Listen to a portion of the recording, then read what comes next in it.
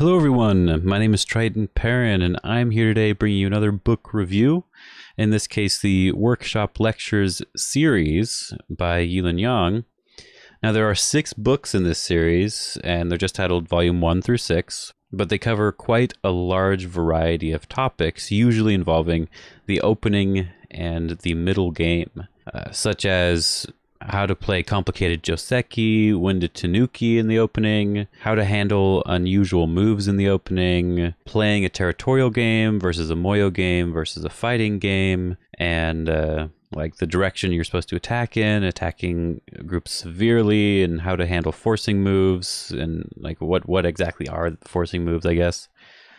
And it just just has quite a bit of information that uh, it's been very useful for me actually because I am really bad at the middle game, and that is something that I was slightly disappointed in in uh, Yilun Yang's previous book, The Fundamental Principles of Go, which I have also reviewed. And while I really really enjoyed that book, it was mostly just about how to play a solid opening. And while that information was extremely useful, I mean, it's hard to choose moves in the opening sometimes, and, and the fundamental principles of Go gives you a, a basic step by step guide of um, how to find the correct move. It doesn't necessarily tell you the exact move to play, but just, just how to find them, which is usually the most important aspect.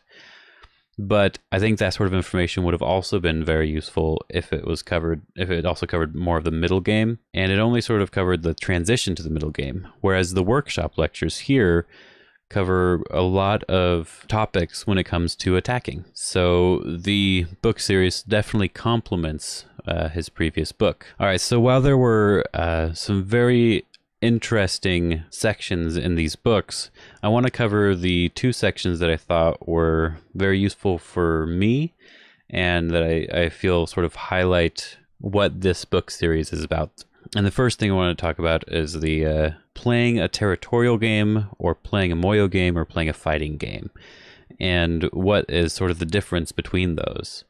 Now, I'm not going to focus on the territorial game right now. I'm just going to focus on the Moyo game versus the fighting game. So I have this set up here.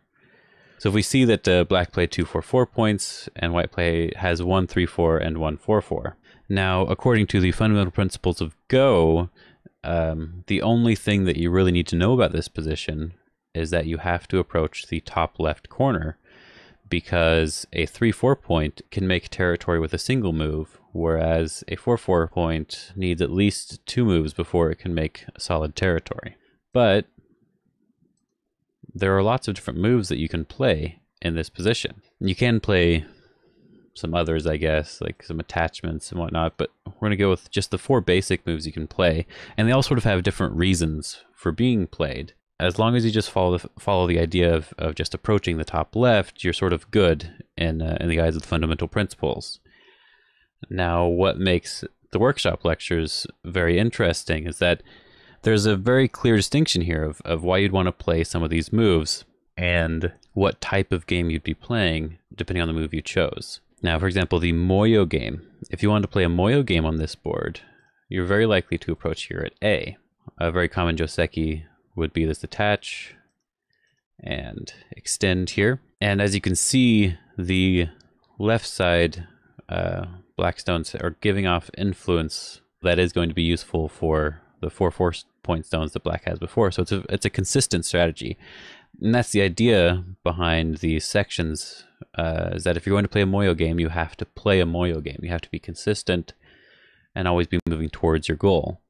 That doesn't mean you can't be flexible and change your strategy, but consistency is one of the most important things. So this is how Black could play if he wanted to approach this position from deciding to play a Moyo uh, variation. Now, what what makes this position interesting is that you can also play in a way. Uh, you could you could potentially call it territorial, but you, but this is uh, something that was discussed in the fighting section. Is that if you play B here instead, then you're actually able to, to play a more of a fighting opening. Because when you approach low like this, you're opening up the corner more. So it's harder for white to make a base in the corner. This doesn't mean you're going to be able to attack this uh, stone right away, but it does mean that in the future you have more possibilities of attacking. And white is likely to pincer or just play a solid move here. So if white just plays something solid here, and let's say you just go back and white enclosed for some reason. In the future, if you get this move, these two stones are actually starting to get a little bit weak. So if white doesn't do something about it, let's say white plays another big move, this isn't necessarily the best way to play, then black will be able to attack these two stones because the corner was open. And so that's why you want to play low. This is sort of a long term idea. So if we go back to this original position, you play low to have potential for fighting in the future, but then you also play high if you're wanting to try to do more of a Moyo game. So it's a very simple example, but I hope what I said makes a little bit of sense. And of course, there's more information being discussed in these sections. So the next section I want to cover is the uh, section on how to attack severely. And this is definitely something that uh, that I really have to work on because uh, I'm just not good at attacking in general. But I thought it was a, a very interesting section and sort of highlights the ideas that are discussed in this book because it's not just about attacking severely, it's about how to recognize when an attack is severe. And there is a very important distinction there. You could think you're attacking severely, but not actually be attacking severely. So here's the first example uh, that they present in that section. And the idea is how does black attack that top white group uh, in the most severe way. This was asked of his workshop. This is, the workshop lectures, and people gave uh, quite a few answers, like trying to play from above here, just squeezing with this move, playing close here, uh, maybe attaching on the inside, or just playing some sort of inside move. And he actually goes through and discusses all of them and why they're not severe, or they're severe if you already have this in place or something. But I'm just going to sort of cover two different variations. So one of the first variations that that a lot of people suggested was just this uh, squeeze here, because it does feel like you'll be able to do a very severe attack now that you have this stone, because you can play on the inside and you have an easier escape route. But it's entirely possible that white could just Tenuki at this point. And now, yes, you can play a move on the inside, but if white can Tenuki like this, then that means that your first move wasn't really severe enough. And what if white just responds directly? Like white just turns here and just makes the group strong. Yes, you did profit um, by getting this stone in, but you're not going to really be able to attack this group more in the future. So this is not a very severe attack, you could say. So now that we know that this is not really severe, what could be the severe attack? Like what what what makes an attack severe? And that's sort of what's discussed in this section. And I'm probably not going to be able to uh, tell you what actually makes an attack severe, but in this case, the move that Yilun Yang suggested was this attachment on the top. When looking for a severe move, you're looking for a move where you're asking for just a little bit more, which is why I chose to compare it to this move. This move is trying to get like just a couple more points on the top and to try to unsettle white. This move is also trying to do that, just in a more direct or severe way.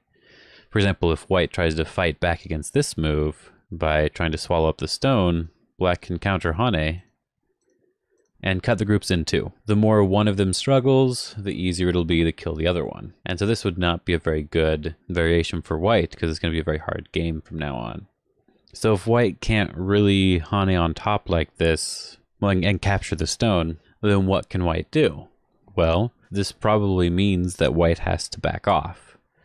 And if white has to back off and just play like this sort of solid connection, this doesn't really feel good for white. I mean, let me see if I can find the other variation here. If we compare it to this move, this is definitely a better situation because white still doesn't have two eyes.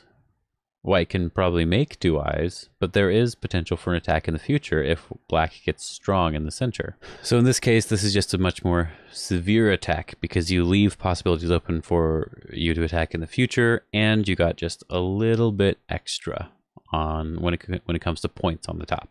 Of course, there's more that was discussed in the book, but Uh, I don't want to just discuss all of it right now. So, when it comes to these books, I would say that you first want to read The Fundamental Principles of Go uh, because it is referenced quite a bit in this series and it's sort of the outline that will help you in deciding a lot of your moves and uh, all of that outline is expanded upon in the workshop lectures. I feel like anyone can sort of get this book, so it's not really uh, restricted to any sort of rank. And I sort of wish that when I first started playing the game, that I had the Fundamental Principles of Go and the and all six workshop lecture books, as well as um, the Essential Life and Death series, which I may cover, which I may do a review of in the future, because it, it would have been a fantastic starting point for any Go player um, after you've played your uh, was it lo- after you've lost, I guess, your first hundred games or whatever the the proverb is supposed to be.